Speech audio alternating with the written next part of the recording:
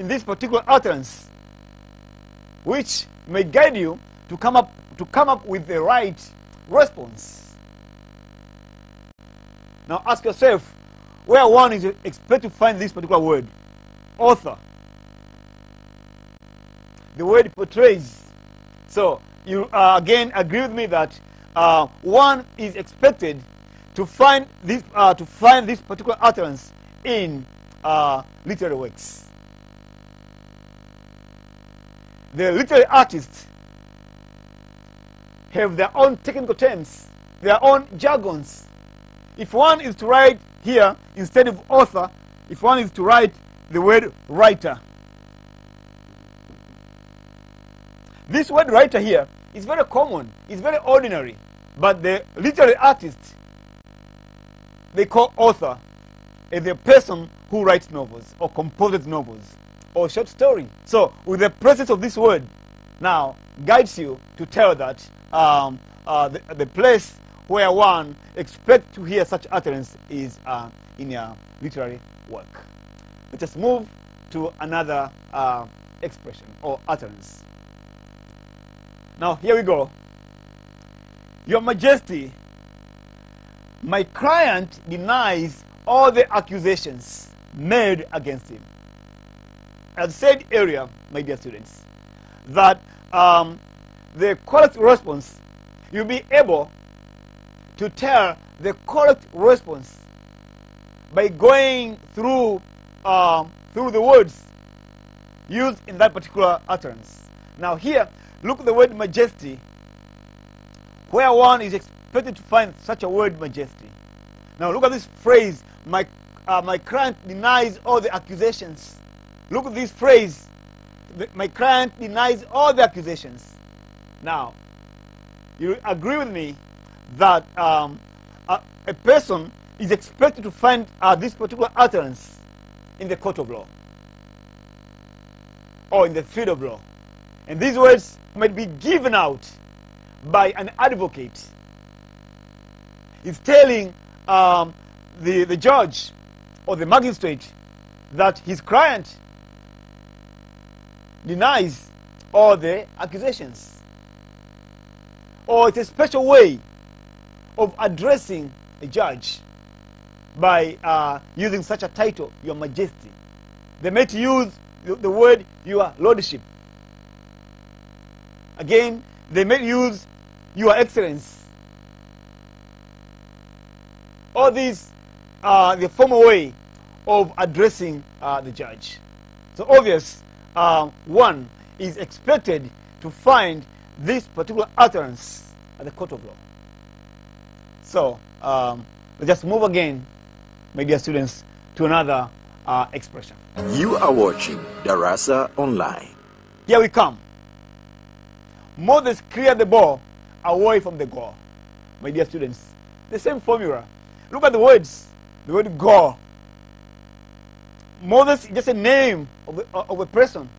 But this Moses cleared the ball away from the goal. Now, where do we expect? I know uh, for the uh, soccer fans, uh, you quickly tell um, this particular utterance where one can find this particular utterance. So, I believe um, um, you agree with me that uh, one expects to find this particular utterance in soccer field or in the sports arena, where the comment, commentator is um, commenting about the, the soccer match which is going on. So the commentator may be on the field live doing his job, seeing Moses clearing the ball away from the goal. The commentators tend to use the so-called spontaneous language because uh, the commentator is on the, uh, on the field commenting uh, acts or the situation going on in the field. So, my dear students, um, let us move again to another utterance. Here are the other utterances. I know, as I said earlier, that each field, each discipline has its own uh, special professional uh, terms. Now, look at this one. Don't ask for a car, ask for a Porsche car. Now, uh, again, um, look at this word. Don't ask for a car, ask for a Porsche car. Where one can come across with this particular utterance. Again, you agree with me that uh, a person, a, one is expected to find this in adverts or advertisement. One is expected uh, to find this in the um, in the newspaper or in the on the television. One is advertising uh, the car. Now is convincing the client that they should stop uh, asking themselves about a car. They should always think of um, buying or owning a Porsche car, which is very expensive, very comfortable, luxurious car, my dear students. So one is expected to find this language in, uh, uh, in advancement, where this product, a Porsche car, is being ad advertised, that people, uh, the public, should uh, go and buy uh, such car and not other cars. So uh, it's convincing the public, dear students, just again, go to another. Mind your herd. Now, where do you expect to find such utterance? Again, you'll agree with me that one is expected um, to find this uh, particular utterance. For example, uh, in the field of, or in, the, in, uh, in uh, uh, public cars, like in the bus, and it's written on the uh, maybe on the door as people steps in or embark embark in. There is su such a word, mind your head. It's a warning it gives people warning that, that be careful and embark into a car. But again, one may see this particular um, uh, utterance in the public buildings, in a hotel building, where um, maybe there are steps. So it, it warns the, the, uh, the people, especially those who are tall enough, that they may hit their head. So it, it, there's a warning somewhere there written um, mind your head. Look here, my, my dear students. Belt on. Again, uh, one may see this um, um, in the means of transport. People are being warned or are, are, are being reminded that whenever you embark into a car, you have to put a belt on. Or maybe in the flight, the cabin crew is uh, reminding the passengers in the flight that they should put on the belt. That before, or the driver has to put on the, on the belt before starting driving. Now, back to you. Have you ever seen this uh, particular utterance? Obviously, yes. Dear students, here again is our uh, expression take beaker. It starts with Take beaker, add water, add one drop of sulfuric acid, shake, and then observe. Where do you expect to find such particular utterance? Where it starts by commanding, it starts by commanding verbs like take, add, add, shake, observe. Where do you expect to find that particular now, you'll be able again to tell um, that one is expected to find this particular utterance in the lab or laboratory, where the lab technician or attendant is giving an instruction to the students. Maybe they're, they're about to perform. Now, for them to, uh, to perform such uh, experiment they have to undergo some steps, some procedures. Now, here are the procedures. That the first procedure is take a beaker, add water, add one drop of sulfuric acid, shake, and then observe. So it's pure instructional kind of language where it is, it is, it is expected to, uh, to be found in laboratory. I believe when you are in Form 3 or in Form 2 something, you heard such a language from a lab or from a chemistry teacher or biology teacher instructing you on how to perform something by steps. My dear students, let us now go to our second question. Before going to our second question, let us have a, a short break. Then we'll come back. Stay tuned. You are watching Darasa Online. Dear students, welcome back to our second session.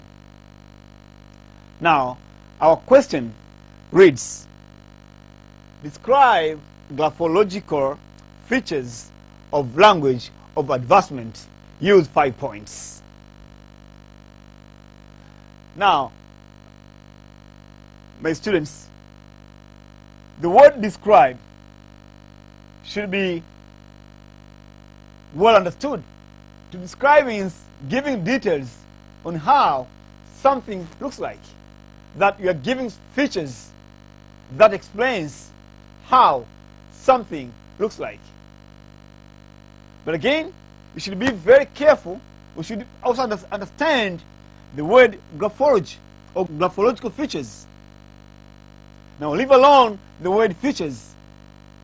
Think of uh, gra graphology or graphological. Remember, markers of style. And I believe um, you have studied the, uh, all those uh, styles or mark of style. Mark of style with your teachers. So leave alone other markers of styles. Now, confine yourself to this particular um, style or marker. Now, with the word uh, uh, uh, graphological or graphology, is the way something is written or presented. Let me come back. I'm saying the word graphology means the way something is being presented or something is being written or printed. Now, there are so many ways of, um, of writing things. There are so many ways of printing some things. Now, here you are, you are asked to tell about graphological features in the field of advancement and not otherwise. So, again, continue confining yourself to this particular field of advancement and not otherwise. Remember, each field, each discipline has its own style of writing or printing, which is different from the way um, uh, other styles, let's say uh, the field of advancement, the way uh, the, its, its graphological is different from the field of biology, the field of geography, the field of, of mathematics. Now, if I'm to ask you, what are those are the graphological features? I believe you will be able to tell. So the question, just want you uh, to use only five points. Now, before going to um, uh, to the description, let us look at this particular advert. It's a global education link limited, an agency of overseas education. Back to the question. It says describe the graphological features of language of advancement. And here is our advert. It's a global education link limited, an agency of overseas education. Now, describe this advert, my dear students. Look at the way this advert has been written. Look at the words. Look at the, the way the, the words have been designed. Look one letter after the other. Look at the letter G. Then comes to the next. Then look at the letter R. Then comes to B, A, and L. Now, is it the same way, the same as um, doing like this? It's obvious no. The way this particular adverse has been written is quite different from this particular, uh, the way has been scribbled here. Now, look at the colors in this particular adverts. Look at the uh, um, the boarding. The words the words have been bordered. The letters are, are so thick. Uh, thick ink has been used to make this uh, word or letters appear more clearer. But again, it this particular word or adverts, it has some different colors. Look at this color here and this one here. Over here, if I'm to ask you how many colors are found in these particular adverts. So this Global Education Link Limited advertises its services to the public. It wants the public to use this particular link or to use this, this particular frame to access overseas education. But the way it appears, or graphologically, it has used um, uh, capital letters. It has used colors. The letters are bordered. Look at the picture of the world or earth in this particular O.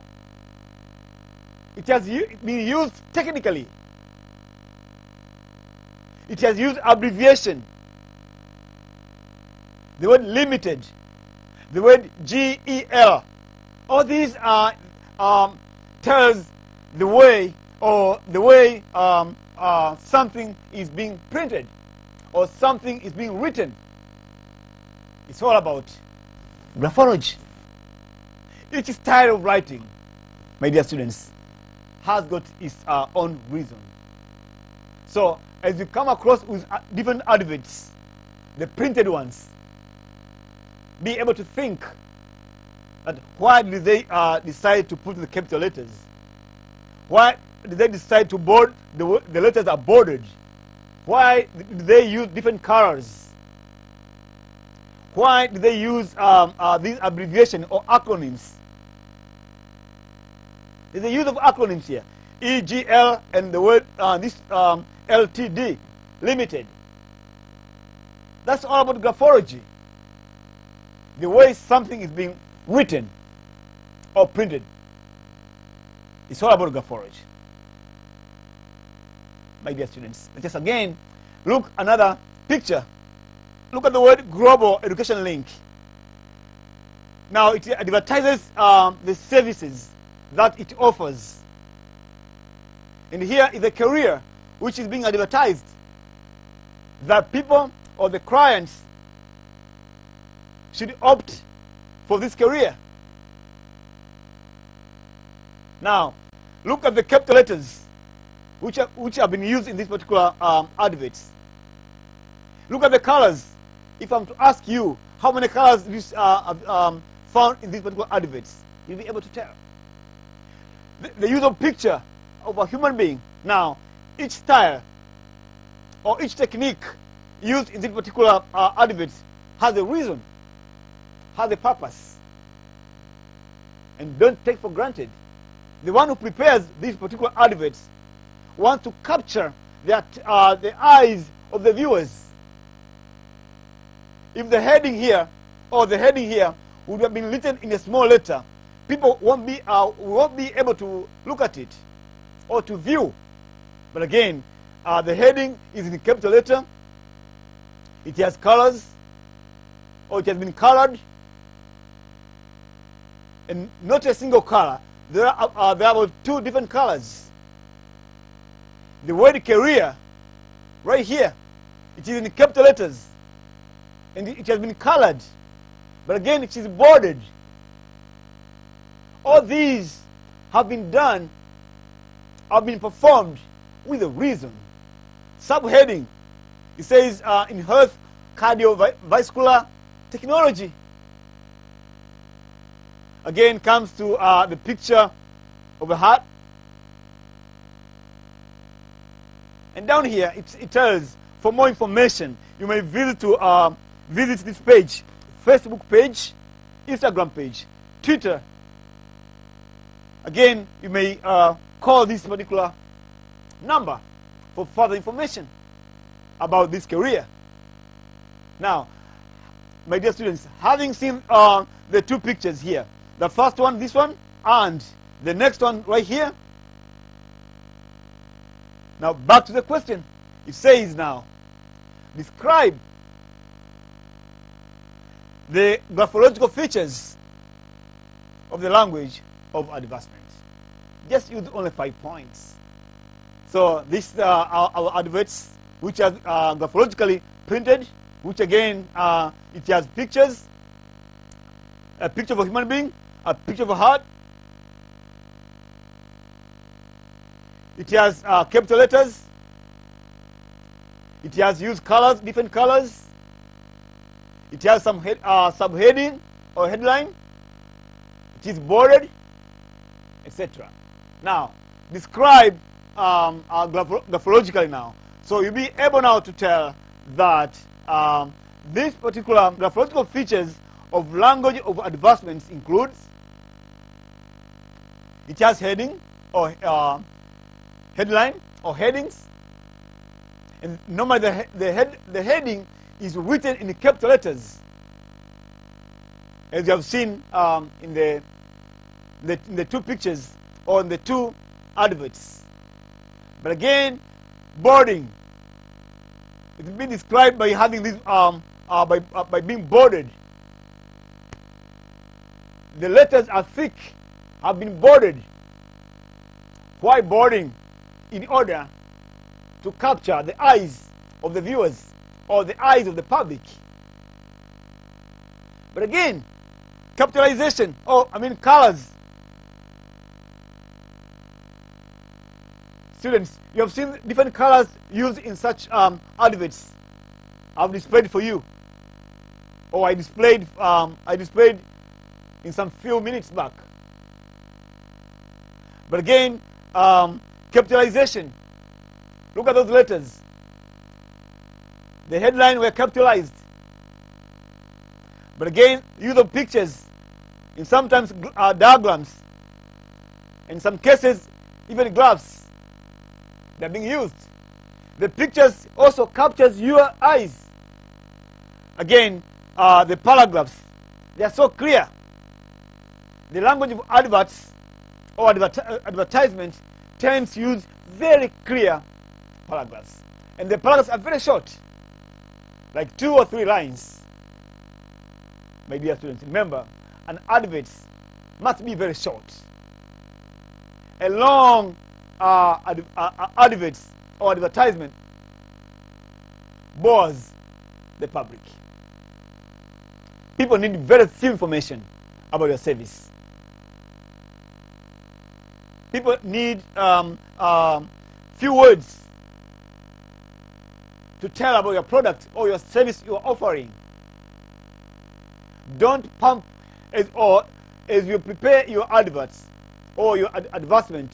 Don't pump people with so much information. People are in hurry. They just need only a few information. Very brief one, very short. And there below, put your contact address. People, those people who will be interested, or the customers who will be interested, will give you a phone call, or will visit your website, or will visit your um, um, your Facebook page, or Instagram, or Twitter, etc.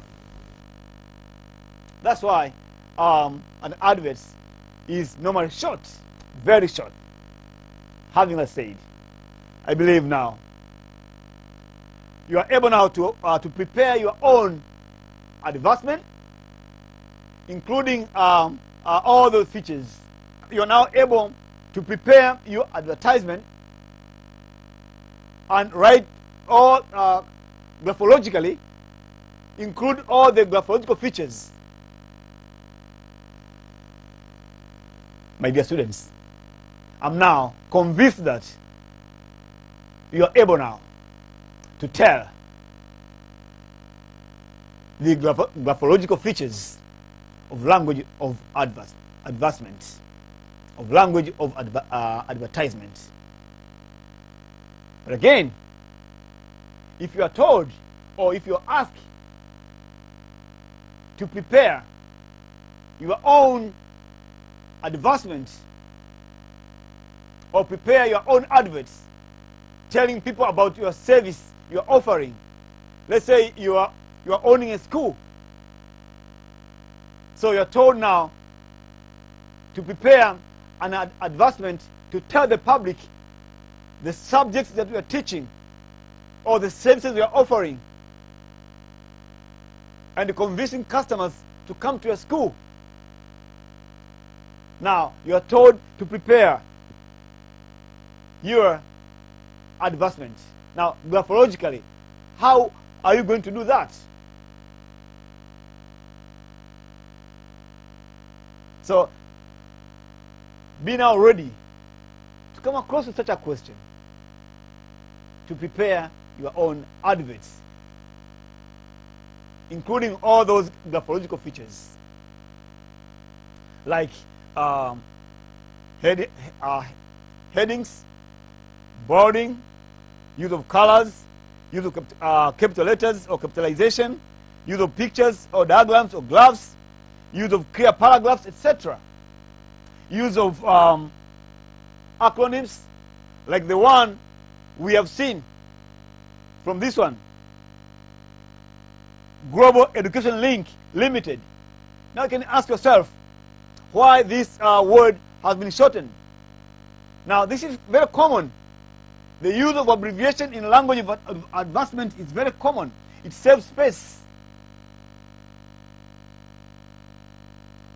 By saving space, now um, it, uh, it uses again very few words to avoid boredom to the public. If such a word would be written like uh, education link limited, that would be very long. So the, the, uh, the one who composed this has made this very much short. Dear students, let us continue with our subject. Here is um, will be your assignment. Go and study about other markers of style. For example, remember we were dealing with uh, graphological features. Now, um, the question may, be, may, may, may come into different um, uh, phases or may, may, may be asked in a different way. You may be told to describe the syntactical features of language of advancement. This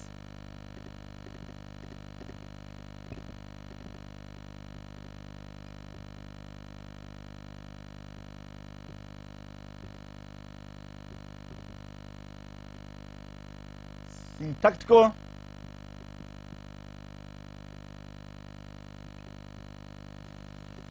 features of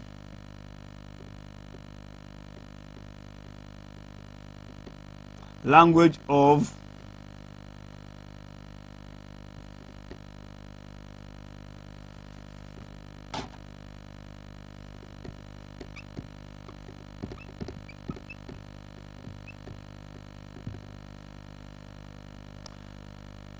my dear students now here is your question of which you may uh, do it do it at your own pace. That describe the, the syntactical features of language of advert, um, advancement.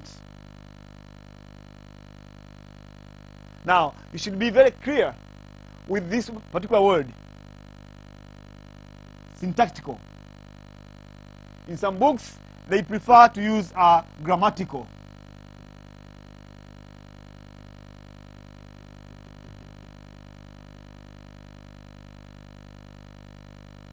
grammatical features of language of uh, advancement. But again, not necessarily being a language of advancement. One may, uh, you may be even told, you may be asked, for example, language of, of law. or religious language.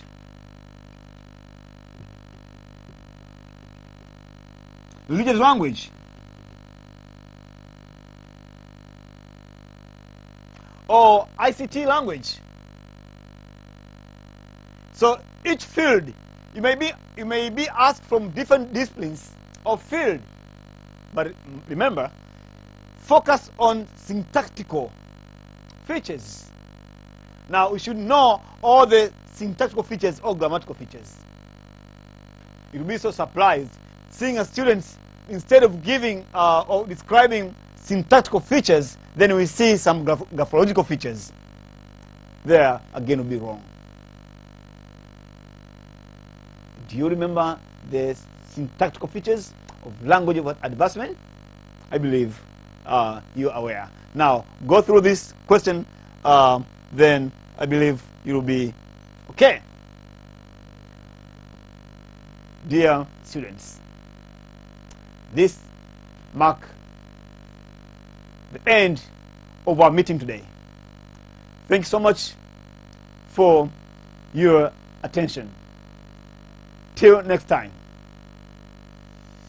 Thank you. Bye.